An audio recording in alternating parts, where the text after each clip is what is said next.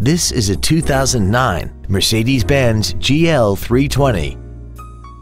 This crossover has an automatic transmission, a 3.0-liter V6, and the added safety and control of four-wheel drive. Its top features include a sunroof, heated seats, power-assisted tailgate closing, a leather-wrapped steering wheel, an air suspension, a turbocharger, heated washer fluid, a low tire pressure indicator, air conditioning with automatic climate control, and this vehicle has less than 65,000 miles. Stop by today and test drive this automobile for yourself. Straight Line Automotive Group is located at 2727 Northaven Road in Dallas. Our goal is to exceed all of your expectations to ensure that you'll return for future visits.